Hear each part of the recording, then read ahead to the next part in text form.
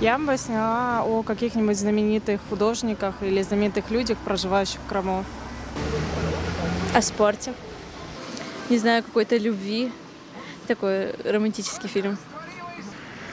Такие фильмы – это люди, которые страдают или, может быть, одарены способностями политическими. Ну, о дружбе, наверное. о дружбе тоже. О своей маме, Аббасовой Зейнеп Саидовне. Я хотел бы снять, например, о судьбе крымских, татар, о своем народе. Снял и показал бы все ужасы.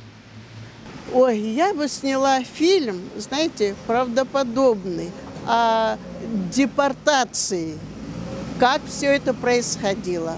Я бы сняла фильм о писателях нынешних, о том, как они думают, что они думают. О себе. Я бы снял фильм про нашу жизнь крымских татар, как мы возвращались, потом как мы обустраивались. Это очень интересно.